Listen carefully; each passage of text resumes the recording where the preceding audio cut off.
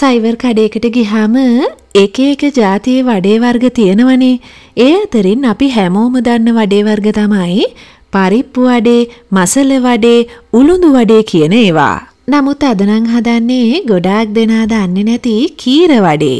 ඉතින් කීර වඩේ ක්‍රම දෙකකටම හදනවා. කීර වඩේ හදන්නත් මහ වෙලාවක් යන්නෙත් නෑ. බොහොම පහසුවෙන් හදන්නත් පුළුවන්. ඉතින් තේ වෙලාවට වගේම උදෑසන ආහාරයක් විදිහටත් මේක නියමයි. මොනාද මේ කීර වඩේ කියන්නේ? කොහොමද හදන්නේ? අපි ඒ සියල්ලම ගැන කතා කරමු. ඊට මත්තෙන් රූයිට් YouTube channel එක subscribe කරන්න. ඒ වගේම ඊට එහා පැත්තේ තියෙන bell icon එකත් click කරලා තියාගන්න. එතකොට අපි වීඩියෝ එකක් දැම්ම ගමන්ම මුලින්ම notification එක එන්නේ ඔයාලට. පළමු ක්‍රමේ විදිහට පැය පහක් පෙගෙන්න තියපු කඩල පරිප්පු ග්‍රෑම් 250ක් බ්ලෙන්ඩර් ජායකට දාලා බ්ලෙන්ඩ් කරගන්න තමයි හදන්නේ. මෙහෙමත් දෙයක් තියෙනවා අපි ගන්න කඩල පරිප්පුවලින් භාගයක් මුලින් හොඳට බ්ලෙන්් කරගන්න. ඉතුරු භාගෙත් අපි බ්ලෙන්් කරගන්නවා හැබැයි ඒක බ්ලෙන්් කරගත්දි මතකතියාගන්න මේක කෑලි හිටින විදිහට බ්ලෙන්් කරගන්න මෙන්න මේ වගේ ඉතින් මේ විදිහට විදි දෙකට කඩල පරිප්පුටික බ්ලෙන්ඩුන හම තමයි මේ වඩේ එකේ රස වැඩි වෙන්නේ.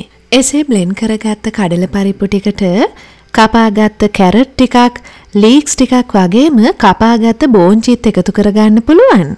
දැන් තීරුවලට කපාගත්ත අලගෙඩියක් කපාගත්ත අමුමිරිස් කරල් දෙකකුයි කපාගත්ත කංකුන් ටිකකුයි දාගන්න. කංකුන් වෙනුවට නිවීති මුකුණු වෙන වුනත් දාගන්න පුළුවන්. පිළිවෙලින් සූදුරු ඇට තේ හැන්දකුයි ගම්බිරිස්කුඩු තේ හැන්දක් ඒ වගේම රසානෝ ලුණු එකතු කරන්න. කපාගත්ත බීලුණු ගෙඩියක් ඒ වගේම කරපිංච ටිකකුයි පොඩියට කපාගත්ත සුදුලුණු බික් දෙකකුයි දාන්න. කෑලිමිරිස් මේ සැහැන්දකුත් දාලා මේ සියල්ලම හොඳට අතින් අනාගන්නවා. ඉතින් කීර වඩේ කියන්නේ කොළ වර්ගයක් එහෙම නැත්තම් පලා වර්ගයක් දාලා හදන වඩේ එකක්නේ. නමුත් අද කාලේ සයිවර් කඩේකට ගිහාම පලා වර්ගයක් විතරක්ම නෙවෙයි කැරට් බෝංචි ලීක්ස් කඩල පරිප්පු දාලා හදන මෙන්න මේ වගේ කීර වඩේකුත් තියෙනවා. මේ විදිහට හොඳට අනාගත්තට පස්සේ පාම් පිටි ග්‍රෑම් 50කුත් දාලා නැවතත් හොඳට අනාගන්න. පාම් පිටි ටිකකුත් දැම්මහම තමයි මේ මිශ්‍රණය හොඳට එකතු වෙලා එන්නේ. ඉතින් අද හදන පළමු ක්‍රමය අද කාලේ සයිවර් කඩවල් වල තියෙන කීර වඩේවල මොඩර්න් වර්ෂන් එක කිව්වොත් මම හරි. ඉස්සරහදි ඔයාලට බලන්න පුළුවන් මේ දෙකේ වෙනස. ඔරිජිනල් කීර වඩේ රෙසිපිය අපි දෙවනි ක්‍රමේ විදිහට ඉස්සරහදි හදමුකෝ. දැන් බලන්නකො හොඳට අනාගත්තට පස්සේ බෝලයක් විදිහට එකතු වෙලා එනවනේ. ඊට පස්සේ අල්ල මත තියලා පැතලි කරගන්නවා. මේ කීර වඩේ එක නම් ටිකක් ලොකුවට තමයි හදාගන්නේ. ඊට පස්සේ රත් වෙච්ච තෙල් එකට දාලා හොඳට රන්වන් පාට වෙනකම් බැදගන්න. වඩේ ටික හොඳට බැදගන්න නම් මේ ටිකත් මතක තියාගන්නකෝ. රත් වෙච්ච තෙල් එකට වඩේ එක දාගන්න. ඒ වගේම ගින්දර අඩුවෙන් තියාගෙන වැඩි වෙලාවක් බැදගන්න. මෙහෙම හිතන්නකෝ. ඔයාලා වඩේ ටික වැඩි ගින්දර දාගෙන ඉක්මනටම බදින්න යනවා කියලා. එතකොට මොකද දන්නවද වෙන්නේ? මේ වඩේවල වටේ ඉක්මනට බැදිලා මැද අමු ගතියක් එනවා. එසේනම් කරන්න ඕන දේ තමයි අඩු ගින්දරේ තියාගෙන මේක හෙමින් හෙමින් වැඩි වෙලාවක් බැදගන්න. දැන් බලන්නකො ලස්සන රන්වන් පාටකට අපි මේ වඩේ ටික බැදගත්තා.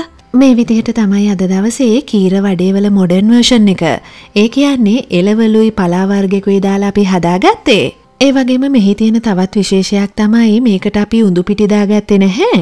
ඒ වෙනුවට කඩල පරිප්පු සහ පාම් පිටි වලින් තමයි හදාගත්තේ. ඉතින් ඔයාලත් කියන්නකෝ සයිවර් කඩේකින් මේ වගේ කීර වඩයක් කාලා තියෙනවද කියලා. දෙවැනි ක්‍රමේ විදිහට කීර වඩේ ඔරිජිනල් රෙසිපියට වෙනම මැටි වළඳකට උඳු පිටි ග්‍රෑම් 300ක් සහ කපාගත්ත අමු මිරිස් කරලක් දාගන්න. ඊට පස්සේ කපාගත්ත බීලුණු ගෙඩියකුයි කපාගත්ත සුදුලුණු බික් දෙකකුයි එකතු කරනවා. කරපිංච ටිකකුත් එහමින් දාගන්නකෝ. ඉතින් මේ සඳහා කොළ වර්ගයේ විදිහට නිවිති තමයි අපි යොදාගන්නේ. මේ ටික නම් මගේ අම්මා ගෙදර වවාගත්ත නිවිති. ඉතින් මේකත් පොඩියට කපලා දාගන්නකෝ. පළමු ක්‍රමේ කිව්ව විදිහමයි නිවිති වෙනුවට කංකුම් මුකුණු වෙන්නත් දාන්න පුළුවන්. ඊළඟට කෑලි මිරිස් මේස හැන්දක් දාගන්න. රසානු ලුණු වගේම ගම්බිරිස් කුඩු තේ හැන්දකුයි සූදුරු ඇට තේ හැඳි භාගයකුයි දාගන්න. දාගත්ත සියල්ලම හොඳට අතින් කලවම් කරනවා. ඊට පස්සේ මේකට මද රස්නෙහි වතුර ටික ටික එකතු කරගනිමින් මේ මිශ්‍රණය හදාගන්න ඕන. අපි අද නම් මේ කීර වඩේ හදන්න උඳු පිටිනේ යොදාගත්තේ. ඉතින් ඔයාලට උඳු ඇටවලිනුත් මේක හදන්න පුළුවන්. මේ විදිහට කීර වඩේ මිශ්‍රණයේ පදම බලාගන්න පුළුවන්. ඉතින් මේ ආකාරයට ඇලෙන විදිහට තමයි මේ මිශ්‍රණයේ පදම අපි හදාගන්නේ. ඊට පස්සේ මේ මිශ්‍රණය පැය භාගයක් පැත්තකින් තියන්න. පැය භාගයකට පස්සේ ඔන්න අපි බදින්නයි හදන්නේ කීරවඩේ ටික බැදගන්නකොට මේ විදිහට කීරවඩේ මිශ්‍රණයෙන් ටිකක් අරගෙන අත්ල මත තියලා බෝලයක් වගේ හදාගෙන ඒක මැද්දෙන් හිලක් තියාගන්නවා. මතක තියාගන්න අත් දෙකේ හොඳට වතුර ගාගෙන තමයි මේක කරන්නේ.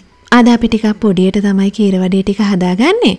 ඉතින් ඔයාලා කැමති නම් මේක ටිකක් ලොකුවට හදාගන්නත් පුළුවන්. අත් දෙකේ වතුර ටිකක් ගාගත්තාම අපි හදාගත්ත කීරවඩේ මිශ්‍රණය ඇලෙන්නේ නැතුව හැඩය හොඳට හදාගන්න පුළුවන්. පළමු ක්‍රමේදී කිව්ව විදිහමයි මේ ටික බැදගන්නකොට රත් වෙච්ච තෙල් එකට දාලා බැදගන්න. ඒ වගේම බොහොම අඩු ගින්දරේ වැඩි වේලාවක් බැදගන්න. මේ බලන්නකෝ වඩේ ටික හිමීට හිමීට බැදෙද්දී කොච්චර ලස්සනද කියලා. එහෙමනම් අද දවසේ ඔයාලට ක්‍රම දෙකකට කීර වඩේ හදන විදිහ කියලා දුන්නා. තවත් දෙයක් මේ වෙලාවේදී කියන්න ඕන. දෙවනි ක්‍රමයට ඔයාලා කීර වඩේ හදනවා නම් ඔයාලට ගෙදර තියෙනවා නම් පෙරුම් කායන් කුඩු ටිකකුත් දාගන්න. එතකොට තවත් රස ගුණ වැඩි. මේක දැක්ක ගමන් අදම හදන්න හිතෙනවා නේද? ඉතින් මේක ගොඩාක් රස දෙයක් මම කියන්න අවශ්‍ය නැහැ ඔයාලම හදලා රස බලන්නකෝ. ඉතින් ඉඟුරු ප්ලේන් ටිකක් එක්ක මේ වගේ කීර වඩයක් මේ වෙලාවේදී තිබ්බොත් කොහොමද? ඔයාලට ස්වන් රැකියාවක් කරනවා නම් තේ කඩයකට මේ වගේ කීර වඩේ හදන්න පුළුවන්. ඒ වගේම අදගත්ත ප්‍රමාණවල් වලින් පළවෙනි ක්‍රමයට අපි කීර වඩේ 8ක් හදාගත්තා. දෙවන ක්‍රමයට කීර වඩේ 12ක් හදාගත්තා. මට නම් දැන් ඉවසිල්ලක් නෑ කනකම්. එහෙමනම් ඔයාලත් හදලා බලන්නකෝ. හදලා බලලා විතරක්ම බෑ මේවායේ පින්තූරත් අරගෙන අපේ රූයිට්ස් Facebook page එකට එවන්න. අපි ආසයි ඒවා බලන්න. මේ වාර කිඩේක කන්න කොළපාට සම්බෝලිකුත් හැදුවා ඔන්න. එහෙමනම් අදට සමුගන්නවා. සමුගන්නට මත්තෙන් මෙවැනි වීඩියෝස් ලයික් කරන්න, කමෙන්ට් කරන්න, ෂෙයා කරන්න. අදට ගිහින් එන්නම් සුබ දවසක්.